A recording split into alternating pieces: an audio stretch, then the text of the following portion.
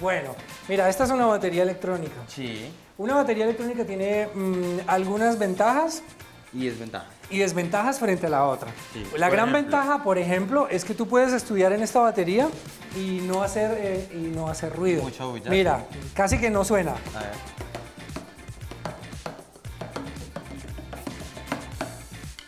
Si te pones audífonos, Ajá. la vas a escuchar muy, muy chévere y no vas a molestar a, A la gente. no vas a molestar a tu papá. Es cierto. Entonces este es un buen juguete para tener en casa porque puedes estudiar música y puedes eh, desarrollar una cantidad de conexiones neuronales que te van a convertir en un científico más, más poderoso Sí. mientras eh, juegas Guitar Hero o mientras aprendes a tocar un instrumento y te conviertes en estrella de rock. Bueno, pero ya basta de, basta de ver, ahora, ahora es tu turno, ¿sí o qué? ¿Vamos a aprender? Listo, hágale. Bueno, Sebas, mm, lo que vamos a hacer ahora es sentir el pulso. Toda la música tiene un pulso. El pulso es como el corazón de la música. Sí. ¿Vale? A veces tu, tu corazón puede ir rápido Sí. o tu corazón puede ir despacio. Exacto. O cuando estás afanado, tu corazón se acelera. Ajá. Cuando estás tranquilo. La, la música también Cuando tiene. estás muriendo, tu corazón baja. eh, cuando estás muerto, tu corazón no late. Bien, exacto. bien. De, de cardiología, full. Bueno. Exacto. Escucha este. ¿Vale?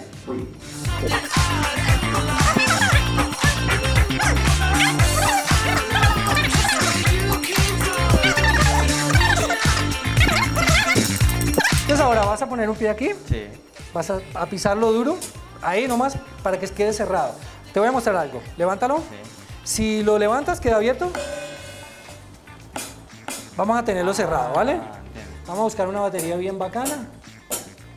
Dos, tres, cuatro. Un, dos, tres, cuatro. Un, dos, tres, cuatro. Un, dos, tres, cuatro. Lo mismo que hiciste ahora.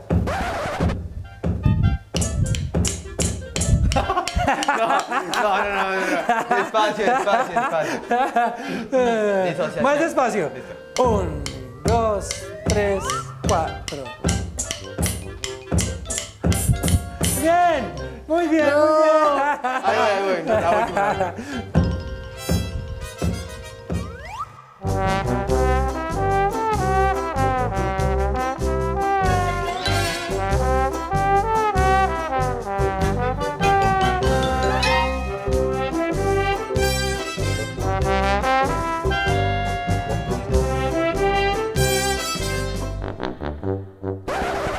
¿Cómo fue? Seamos totalmente No, honestos. te fue bien, te fue bien. Yo creo que es, es- quiero aclarar que es la primera vez que cojo ¿Es la una- primera vez? primera vez que cojo unas baquetas. Y además es, es bueno, es bueno eh, resaltar que el tema de tocar una batería es en sí un reto, digámoslo que biomecánico bien interesante. Sí, sí.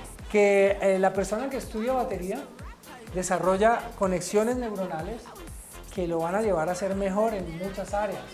Los niños que estudian, que aprenden a tocar batería, tienen que lidiar con todos estos asuntos de independencia tiempo, y de coordinación, que lo que va a hacer es que ellos desarrollen mejor sus habilidades físicas, sus habilidades motrices, van a ser mejores estudiantes, van a ser mejores deportistas, van a, van a adquirir disciplina al, al tener que estudiar algo en lo que se van a tener que enfocar.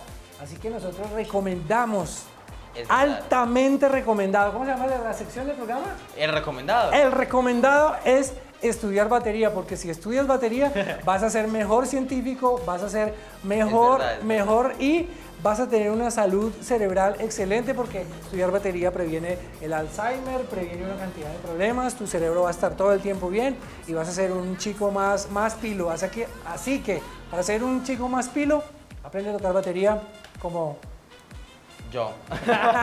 Nosotros nos despedimos. Este fue mi recomendado aprender y tomar clases de batería.